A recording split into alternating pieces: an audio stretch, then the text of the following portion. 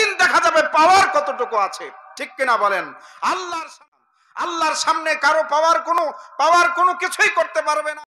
হতে পারে না। ও পায়গাম্বর, আমাদেরকে বইলা দেন। এমন কথা যে তিনবার কসম করে বললেন।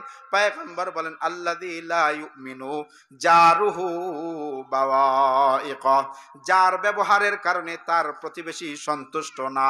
যার আচরণ খারাপ, যার জবানের ভাষা খারাপ, যার আচরণের কারণে তার রাস্তা বন্ধ করে দেওয়া হয়, যার জবানের শুই না মানুষ লজ্জিত হয়, যার হাতের পাওয়ার, টাকার পাওয়ারে প্রতিবেশীর উপরে জুলুম নির্যাতন করে, পায়গাম্বর তিনবার কসম করে বলেন, এই ব্যক্তি কখনোই মুমিন হতে পারে না।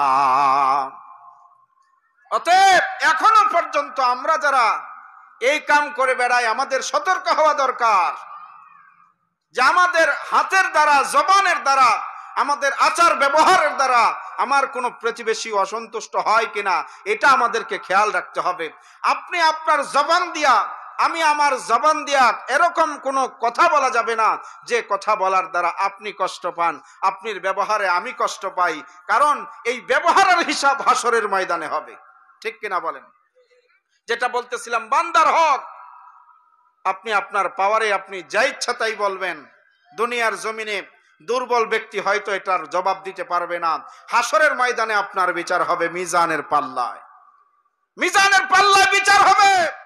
আল্লাহর সামনে দল চলে না, আল্লাহর সামনে টাকা চলে না, আল্লাহর সামনে বংশগরম্ভ চলে না, আল্লাহর সামনে চলে একমাত্র নেকি আর নেকি।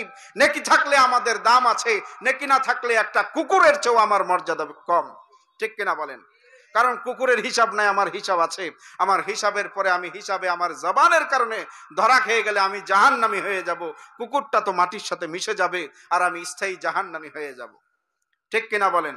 এজন্য জবানের হিসাব করে কথা বলতে হবে। যেই কথার কারণে মানুষ কষ্ট পায় কিনা, এই দুনিয়ার জিন্দিগিতে সে কারও কাছে বিচার না দিলেও, কারও কাছে বিচার না পেলেও, তার যে দিলের কষ্ট, এ কষ্ট নিয়ে যখন হাসরের ময়দানে বিচার দিবে, সেদিন আল্লাহ পাক রব্বুল আলমিন বিচার করবেন। সে বিচার থেকে মুক্তি পাওয়ার কোনো সুযোগ নাই। ঠিক কিনা বলেন? মুসলমান ভাইয়েরা আমার, পায়গম্বর বলেন লাইসাল মুমিনুল্লাযী ইয়াসবাউ ওয়া জারুহু জাইউন সামর্থ্যবান ব্যক্তি, পেট পুরে খেয়ে ঘুমিয়ে আছে, তার প্রতিবেশী না খেয়ে রাতের বেলা সন্তানাদি নিয়ে কষ্ট করে ঘুমায়। অর্ধঘুম ঘুমহীন ভাবে রাত্রি পালন করে, রাত্রি যাপন করে।